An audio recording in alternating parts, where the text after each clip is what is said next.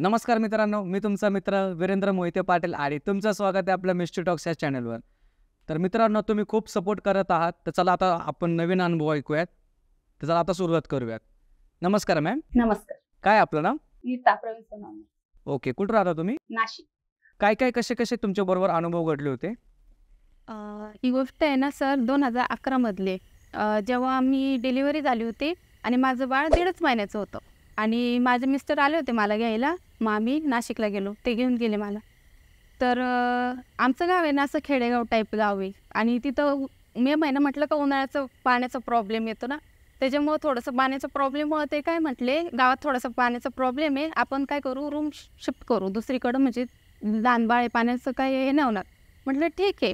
कोण म्हणले? तुमचे हजबंड मग ठीक आहे म्हटलं. मग त्यांनी ना मी इकडंच होते तेव्हाच रूम हे केली त्यांनी. आणि ती रूम आहे ना मराठी शाळा असते ना मराठी शाळेच्या पाठीमागं होती आणि असं हे म्हणजे शक्यतो शाळा मराठी शाळा आपल्या गावाच्या बाहेरच असतात. आणि ती शाळेच्या पाठीमागं ते रूम होते. आम्हाला जी घेतली होती ना ती रूम शाळेच्या पाठीमागं होती. मळ्याची र वस्ती होती. आणि मळ्याची वस्ती म्हणजे पाण्याचा काही प्रॉब्लेम नाही येणार आणि अशा सिंगल सिंगल तीनच रूम होत्या अशा लाईनीत होत्या त्या. मग त्यांनी रूम घेतली म्हटलं ठीक आहे. मग त्यांनी शामन बिमान शिफ्ट केला. मग मी डायरेक्ट त्या रूमवरच गेली. तर झालं असं मे महिना होता. मग जे रूम मालक होते ना ते बाहेरगावी जॉबला होते. आणि तर फक्त त्यांची मिस बायको आणि तिची ब- काय ननंद भाऊच आहे अशा दोघेच राहायचे. आणि मी एक तिसरी गेली होती. भाड्यानं रूम घेतली ते आणि मग गेलं. आणि स असं आमच्यासोबत आहे ना एक एक एक एक गाठणं व्हायच्या पण मग एवढी समज नव्हती का हे असं आहे म्हणून. मग एक दिवशी आणि ह्यांचं कसं आहे सेकंड शिप असायची ते रात्रीचे यायचे सेकंड शिप करून. आणि मी दिवसा घरीच व्हायचे. आणि एक एक एक अशा घटना होत गेल्या ना माझ्यासोबत. नेमकं काय मला इजा करायची होती का माझ्या बाळाला इजा करायची होती ते माहीत नव्हतं. काय माहिती? कसे कसे काय काय अनुभव आले तुम्हाला? एक दिवशी आहे ना हे रात्रीचे असं किचनला एक खिडकी होती. आणि सिंगलच रूम होती. किचनला एक खिडकी होती आणि आमचं जे बेड होता ना तिथं एक खिडकी होती. फक्त ग्रिल होते आणि त्याला ते लोखंडाची जाळी लावली होती. खिडकी वगैरे काहीच नव्हती. तर हे रात्रीचे यायचे आणि माझ्यासोबत काय व्हायचं काय माहिती? आपोआप माझी बॉडी लॉक होऊन जायची. हे अर्धा पाऊन तास दरवाजे वाजवायचे तरी पण मला जाग येत नव्हती का दरवाजा उघडायला. मग हे काय करायचे? किचनची इकडं खिडकी आणि आमचं जो हे होतं ना पलंग ते साईडला खिडकी होती. मग ते काय करायचे? त्या साईडने जाऊन आहे ना खिडकीतनं पाणी फेक किंवा काठी बिठी हे करायचं मग ते पाणी बिनी फेकलं का त्यांनी? ते पाण्याने मी उठून जायचे आणि मग दरवाजा उघडायचे. किती वाजता व्हायचं रात्री? रात्री बारा साडेबारा वाजता यायचे हे कामावरून सेकंड शिफ्ट करून. आणि जी रूम होती ना ती ज्या साईडने जायची ना त्या साईडने मळ होता आणि या साईडने ती शाळा होती. मग त्या दिवशी ना एक दिवशी काय झालं रात्री हे आले बारा वाजता. रात्रीचे बारा वाजता आले आणि झोपले. मी ते खाली झोपले आणि मी वरती झोपली. आणि रा- दोन रात्रीचे दोन वाजले असते तर आहे ना आम्ही राहायचो आणि साईडला दोन रूम होते. त्याच्यात ते दो हे राहायचे. घर मालक असतात ना ते राहायचे. रात्रीचे दोन वाजले होते. आम्ही फुल झोपेत होतो. जोरात असं आहे ना दरवाजावर असं वाचवायचा आवाज आणि बांगड्याचा आवाज कटकट. आम्ही दोघं आहे ना झोपेत खाडकं उठलो. म्हणजे थाप मारली. थाप जोरात असे थाप मारायचा आवाज यायचा आणि बांगड्याचा. आम्ही उठलो म्हटलं आता नको रात्रीचा वेळ बाहेर जायला नको. आम्हाला वाटलं त्यांचे काहीतरी घरामध्ये भांडणं चालू असते मग ते गेलं झोपलो आम्ही. दुसऱ्या दिवशी सकाळी हे उठले आणि म्हणतात मावशी तुमच्या घरात काय रात्री झालं होतं का भांडणं वगैरे? ते म्हणतात नाही आम्ही तुम्हीच राहतो भांडणं व्हायचा विषयच येत नाही. मग तो विषय सोडून दिला. आणि नेमकं आमच्यासोबत काय होतं आम्हाला ते नंतर कळत गेलं. का आमच्यासोबत हे असं असायचं होत होतं म्हणून. आणि ते जी गोष्ट गेली दुसऱ्या दिवशी परत हे आले. आणि एकच वेळी काय व्हायचं? यांना आवाज यायचा एकच वेळी दोघांना आवाज येत नव्हता. फक्त तो दरवाजा ठोकायचा तो एकच वेळी आला होता. आणि ज्यावेळेस ह्यांना यायचा ना आवाज तेव्हा मला येत नव्हता. जेव्हा मला यायचं तेव्हा ह्यांना येतं कसला आवाज यायचा दोघांना वेगवेगळा? बांगड्यांचं ते किचनच्या खिडकीतनंच का? बांगड्यांचा कधी आवाज यायचा? कधी पैंजणांचा असं सळसळ सळसळ पैंजणाचा आवाज एकदम म्हणजे घुंगराचे पैंजण असं सळसळ सळ एका टायमाला दोघांना येत नव्हता तो आवाज. एकदा मला यायचा किंवा एकदा त्यांना यायचा. आणि माझ्यासोबत असं भरपूर हे उठवायचं म्हणजे काय ते बॉडी लॉक नाही का? बर. आता आपण परत तिकडेच येऊयात. तुम्ही म्हणले की अं, रात्री तुम्हाला तो आवाज आला. परत दुसऱ्या दिवशी मग काय घडलं? तेच आवाज यायचा. एकदा मला यायचा एकदा त्यांना यायचं. पण सारखं एकसारखं दोघांना येत नव्हता. कधी ह्यांना यायचं तर कधी मला यायचा. असं दोन तीन वेळा झालं ती गोष्ट. आणि तो आवाज आहे ना ती किचनची एकदम छोटी क्रिल होती अशी काहीतरी नॉर्मल त्याच्यातून यायचा तो आवाज यायचा आणि एक दिवशी हा ते झालं. एक दिवशी उन्हाळ्याचे दिवस होते ना मग दुपारी मी बाळाला ते पुढं हे राहतं ना पत्र्याचं तिथं झोळी बांधली मी बाळाला आणि मी अशी खुर्चीवर बसली आणि मी बाळाला अशी झोका देते हा का. माझं बाळ दोनच महिन्याचं आणि मी अशी झोकत येते माझ्या माझ्या ह्याच्यात अशी झोकत येते आणि जोरात बाळाचं डोकं माझ्या यायला जसं मो मोठ्या माणसांचं कसं टक्कर होते डोक्याला तेव्हा कशा अशा डोक्यात हिंजण आहेत तसं झालं. माझं बाळ जवळजवळ दोन तास रडत होतं. बापरे. दोन तास शांतच नाही इतके जोरात टक्कर. मोठ्या माणसाला मला एवढं वेदना झालं तर त्याला किती झाले असतील? खूप वाईट वाईट घटना व्हायच्या त्या घरामध्ये आम्हाला. तुम्ही जो झोका देत होते तो तुम्ही हळू देत होते का स्पीडमध्ये देत होते. नाही नॉर्मल स्पीड होता त्याचा. तरी पण ते येऊन धडकलं. धडकलं जोरात. ते ते झालं आणि एक दिवशी दुपारी असंच का हे ते गेले ड्युटीवर. आणि माझं आवरलं आणि म्हटलं आता सगळं आवरले झोपून घेऊ आपण दुपारची वेळ होती. आणि ते शेजारी राहायचे ना रूम मालक त्यांच्या घरी कोणतरी पाहुणे आले होते दोन तीन बायका आल्या होत्या आणि मी दरवाजा लावून झोपली होती आपली बाळाला घेऊन. पलंगावर झोपली होती आणि वरती असा फॅन होता. जोरात फिरायचा होता फॅन तसंच सेम माझ्यासोबत का बॉडी लॉक झाली का काय झालं ते नाही माहिती. बाळाला शेजारी घेऊन झोपलं दुपारचा टाईम ते झोपल्यावरच व्हायची का बॉडी लॉक तुमची? हां तेव्हाच व्हायची. आणि वरती फॅन चालू. आणि त्यांच्या घरात पाहुणे आलेले. आणि तो फॅन आहे ना फुल स्पीडवर आता तो वरती फॅन आहे. तो माझ्या पडला तो. आता फॅन किती हे असतो फिट असतो ना. फास्ट मग फॅन जोरात पडला. इतका जोरात पडला का त्याचा आवाज बाहेर गेला त्या फॅनचा आणि तो फॅन आमच्यावर नाही पडला तो साईडला पडला तिकडं. पण तुम्ही तर त्याच्याच खाली होते ना? हो ऐका ना मग. तो जोरात पडला आणि आवाज बाहेर तरी मला हे नाही ते फॅनचा आणि मग ते आले. शेजारचे एवढे जोरात काय झालं काय झालं? ते सुद्धा घाबरले. ते जोरात दरवाजा वाचायला लागले. अगं उठ काय झालं काय झालं? उठ. मी उठले दरवाज म्हटलं का मावशी काय झालं? ते मग ती आवाज कसला आला? बघते तर फॅन तिकडं. नाही मला का इजा करायचा प्रयत्न करत होते का? माझ्या बाळाला इजा करायचा प्रयत्न करत होते ते नाही माहिती. आणि मग ते मालक पण असे होते ना रात्रीचे लाइट चालू पण नव्हते. रात्रीचं झोपताना लाइट बंदच करून झोपायचं. त्यांना लाइट बिलच काहीतरी प्रॉब्लेम असेल ना त्याच्यामुळे. ते बंदच करायला लावायचे आणि मग म्हटलं जाऊ दे. आणि मग एकदा झालं. हे असं आमच्यासोबत कायम हो म्हणजे दोन महिने होते तिथं कायम होत राहिलं. म्हणजे काही ना काय काही ना काय प्रॉब्लेम व्हायचा. ते काय करत होतं मला हे करायचा प्रयत्न करत होते का माझ्या बाळाला हे करायचा प्रयत्न करत होते ते नाही माहिती. झाले मग त्याच्यानंतर आठ आठ दिवस गेले असे. मग हे आले. सेकंड शिफ्ट रात्रीचे बारा वाजले होते. आणि मे महिन्यात ते आम्ही मे महिन्यात फुलं घेतली आणि दोन महिने तिथं राहिलो आणि पावसाळ्याचे फुल पावसाचे दिवस. हे आले रात्रीचे बारा वाजता. मी झोपली माझ्या ह्याच्यात. बाळाला घेऊन. आले. मी बाळाला घेऊन झोपली आणि मग दर दरवाजा यांनी भरपूर वाजवलं. मी काय उठले ना मग ते काय वाटलं त्यांना? जाऊ आपण. पाण्या पा हे पाणी फेकू. ते खिडकी खिडकीच्या जाळीतून. मग हे गेले. पाणी तर फेकायचं लांबच. पण ते पावसात म्हणजे त्या साईडला शेती होती ना शेती होती मग ते पाणी फेकायचं पळ त्यांना पळत पळत पळत पळत आले दरवाजात आणि जोरात दरवाजा वाट वाजवायला लागले. अगं उठ उठ मी मेल्यावर दरवाजा उघडेल का? मी मेल्यावर दरवाजा उघडेल. तेव्हा मला खटकन जाग आली. मग मी त्यांना म्हटलं का काय झालं? ते म्हणतात काय नाही झालं. म्हटलं तुम्ही एवढे असे थरथर का कापतात काय झालं तुम्हाला? अंगाला चिक्कल बिक्कल आली ते म्हणतात नाही तुला तिकडं उठवायला गेलो मी पाणी वाचायला गेलो आणि गो पाय घसरून पडलो आणि आलो मी. मग मी म्हटलं ठीक आहे. खाऊन पिऊन आले होते झोपा म्हटलं. आणि त्यांना कसली झोप लागते? नाही लागली झोप त्यांना. मग तर तर कापले म्हटलं झोपले. खाऊन पिऊन आले. मला पण डाऊट नाही आलं म्हटलं. खाऊन पिऊन आलेले थोडेसे झाले. मी दरवाजा उघडलं मग रागात छायच्यात झोपून गेले. झोपले ते. आणि केलं तो. ती रात्र गेली. आणि दुसऱ्या दिवशी सकाळी हे डायरेक्ट गावात गेले रूम बघायला. एका दिवसात रूम बघितली. सामान पण शिफ्ट केला. आणि आम्ही गेलो पण ते मग गेलो.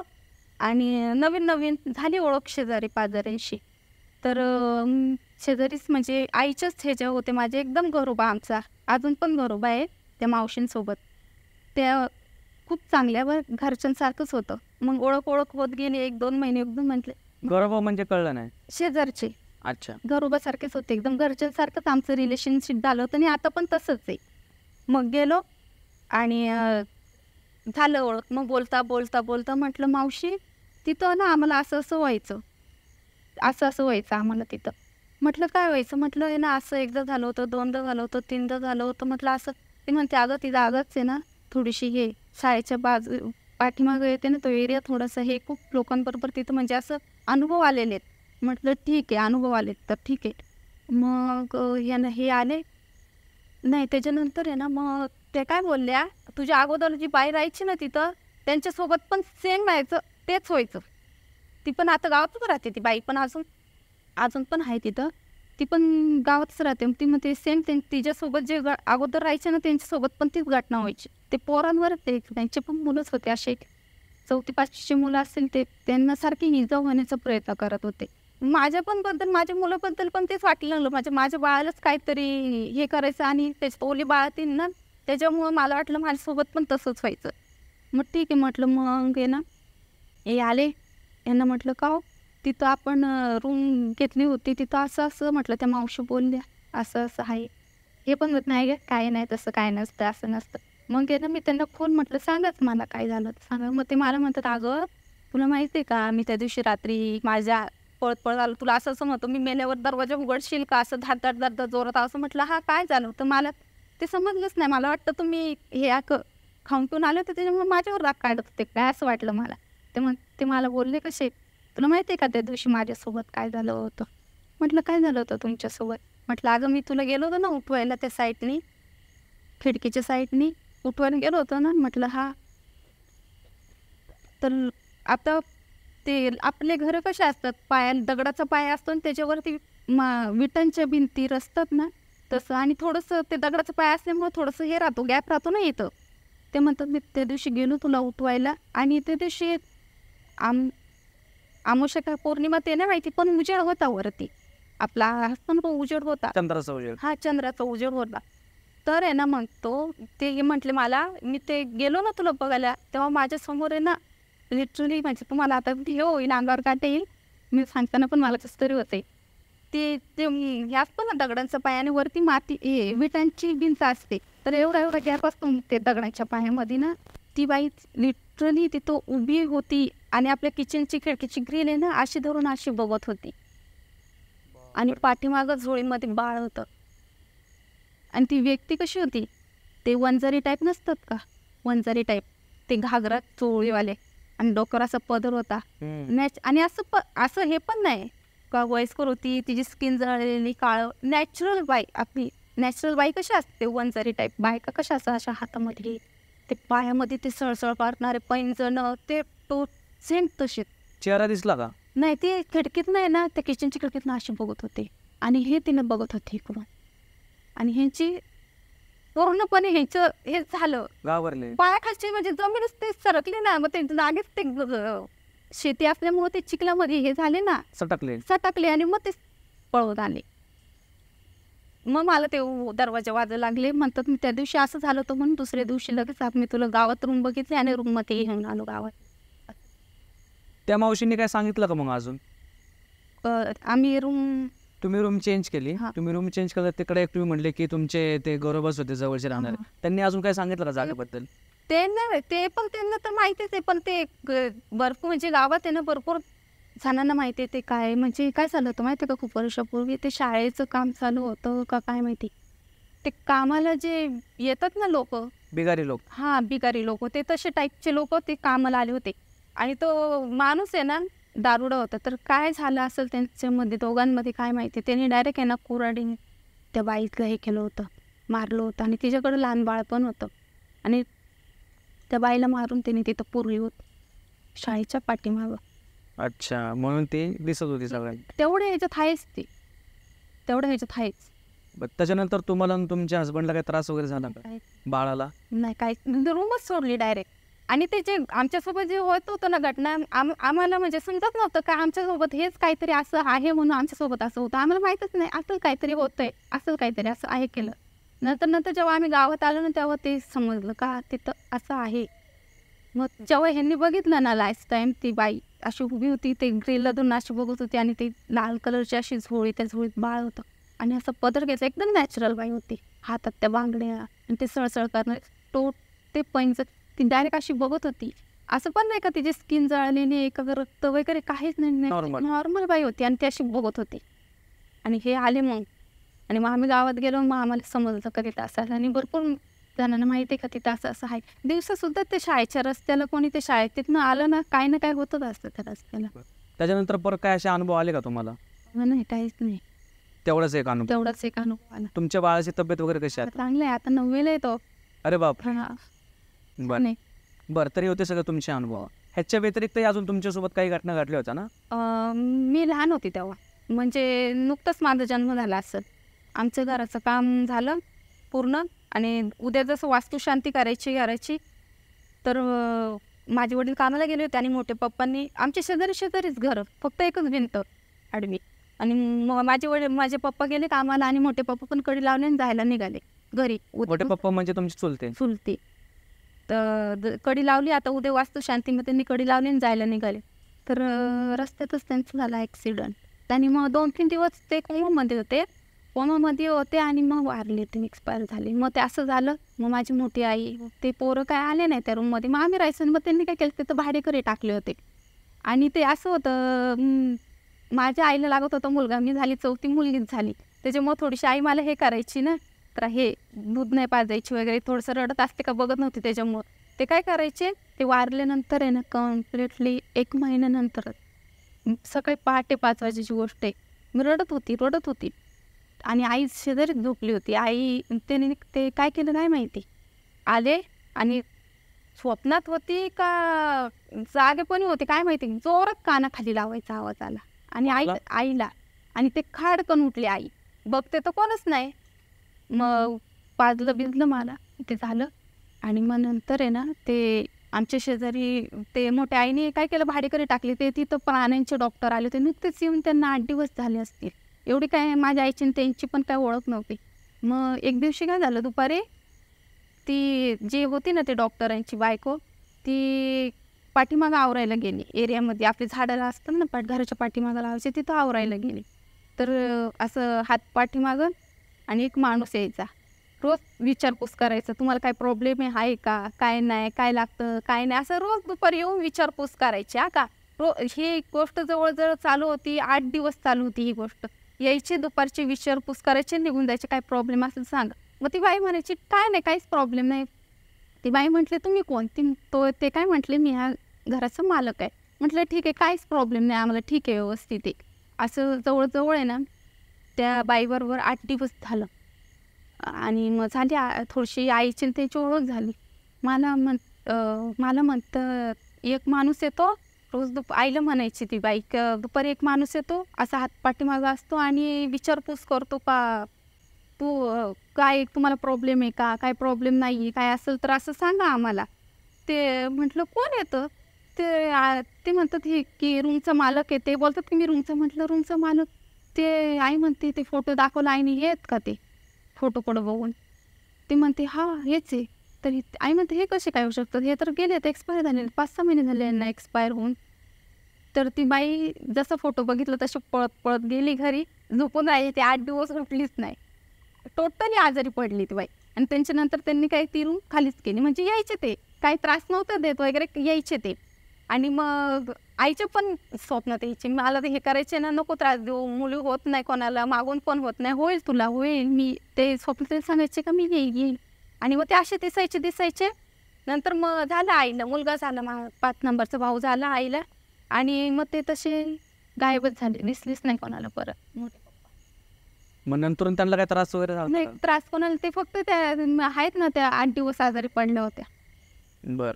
तुमच्या आईला जो प्रॉब्लेम झाला तो कान पडीत मारायचा. परत तसं काय झालं का? ते तेच मग मग आ, मी रडत जर असली ना काहीतरी म्हणजे आईने दुर्लक्ष जर केलं ना माझ्याजवळ तर ते रात्रीचे त्रास द्यायचे आईला. रात्रीच हो. आईला स्वतः पण दिसले होते ते. बर. हे फक्त तुम्ही लहान असतानाच व्हायचं का अजून पण होतं? नाही अजून नाही. मग माझा भाऊ जा ते काय करायचे? स्वप्नात येऊन सांगायचे तू नको घाबरू मी येईल परत. तू नको घाबरू मी येईल परत. मग माझा भाऊ झाला ना तसे ते काहीच नाही. दिसले पण नाही कोणाला काहीच नाही. अच्छा. तर हे होते तुमचे अनुभव. तर मित्रांनो हे होते नीता मॅमचे अनुभव. आणि हा अनुभव कसा वाटला नक्की कमेंट करून सांगा. आणि हिंदी चॅनलला तुम्ही खूप खतरनाक पद्धतीने सपोर्ट केलेला आहे. खूप कमी टाईममध्ये आपली खूप चांगली ग्रोथ झालेली आहे. असंच सपोर्ट करा. आणि जर कोणाला हिंदी आणि मराठीचे जर अनुभव सांगायचे असतील तर डिस्क्रिप्शन बॉक्समध्ये आपण गुगल फॉर्मची लिंक टाकलेली आहे. कमेंटमध्ये पण टाकतो. त्याला पिन करतो म्हणजे तुम्हाला लगेच कळून जाईल. आणि तो फॉर्म भरून तुम्ही आम्हाला लवकरात लवकर तुम्ही आम्हाला कनेक्ट व्हा. तर चला आता आज इकडंच थांबूयात. धन्यवाद. जय हिंद. जय महाराष्ट्र.